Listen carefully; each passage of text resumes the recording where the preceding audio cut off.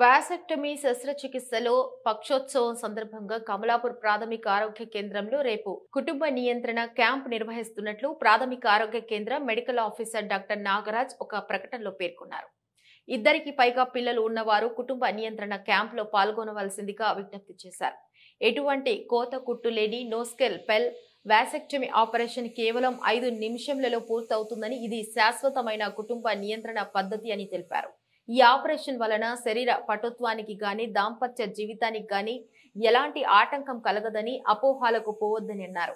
ఈ క్యాంపులో పాల్గొనేవారు వారి వెంట Aadhaar card bank accounts xerox తీసుకొని రావాలని తెలిపారు. అందరికీ విజ్ఞప్తి.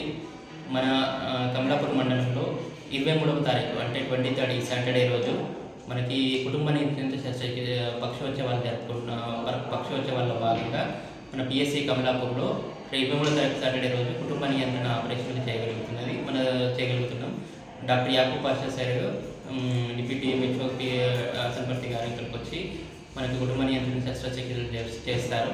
సో ఎవరైతే ప్యాసిక్ ఇద్దరు పిల్లలు ఉన్నారో ఎవరైతే ఎలిజిబుల్ వాళ్ళు ఉన్నారో కంపల్సరీ వాళ్ళు మన పిఎస్సిని సందర్శించి కుటుంబ నియంత్రణ ఆపరేషన్ చేసుకోవాల్సిందిగా మనం